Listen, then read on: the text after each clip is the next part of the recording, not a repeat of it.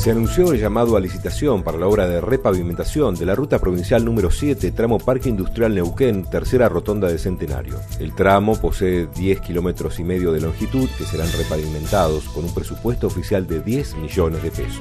Estos kilómetros fueron fresados en abril, donde también se repavimentó el tramo que estaba más deteriorado, que era entre las dos rotondas de Centenario, y nos quedó eh, su repavimentación. Se va a poner una capa de 2-3 centímetros de asfalto modificado, esto es para que tenga mayor resistencia por sobre lo que quedó fresado. Como es una capa que se va a colocar, es un trabajo rápido que estimamos que una vez iniciado va a llevar unas tres semanas. En la provincia de Neuquén, una fuerte inversión en conectividad para acercarnos e integrarnos a los neuquinos, para potenciar el desarrollo productivo, turístico en nuestros parques industriales, con puentes, con carreteras. También nos permitirá contribuir al desarrollo económico y social en la provincia de Neuquén.